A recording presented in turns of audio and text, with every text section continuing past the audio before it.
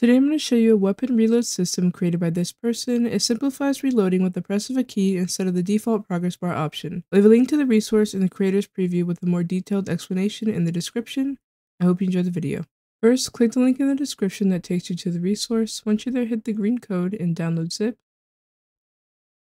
Once it's done, open it up and open your server resources. Then drag over what you downloaded. Once it's in there, remove the main from the end Then go to your server CFG and ensure the resource.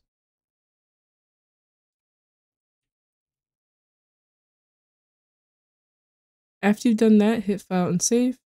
Then go back to the resource on GitHub and scroll down to the README section. We'll begin editing QB weapons. Let's go back to your resources and into the QB folder. Find QB weapons.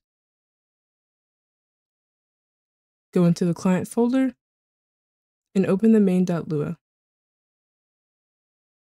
Once you're in there, use Control F and search for add ammo.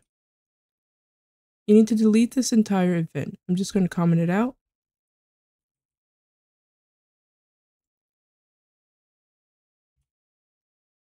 And after you've done that, hit File and Save. Then go back and look at the next step. Let's go back to the QB Weapons folder go into the server folder, and open the main.lua. Once you're in here, scroll down until you see the ammo section. You need to delete or comment out this section, so I'm just going to comment it out.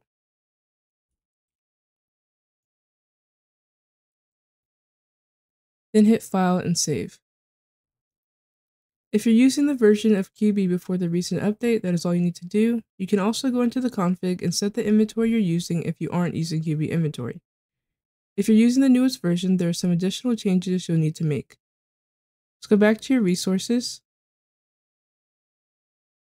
and find Brown's QB weapon reload. Then go into the code folder and open the client.lua. The first thing to change will be at lines 19 and 20. These need to be changed to QB weapons client use weapon. So I'll change it here first. And then I'll change the next one. The next changes will be at lines 51 and 58. These need to say QB weapons server update weapon ammo. So I'll just add QB in front. And the last changes in here are lines 53 and 60. These need to be changed to QB inventory client item box. So again, I'll just add QB in front.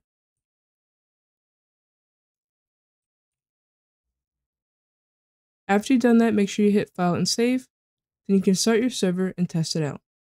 So I'm in the server now and I have two empty guns. I'll start with this one first. The key to load or reload is R. So I'll press that and load the weapon. And I still have 12 bullets, so I'll go ahead and do it again. And as you can see, they're in the gun.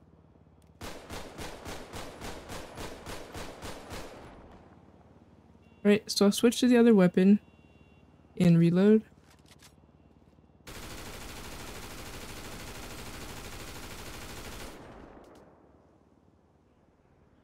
Alright, and now they're both empty again. If you want to change the key, go into your settings, then go to key bindings, go into the FiveM section, and find Brown's QB weapon reload, and change it to the key you want. That'll be all for this video. If you enjoyed it and it helped you out, please leave a like and a sub.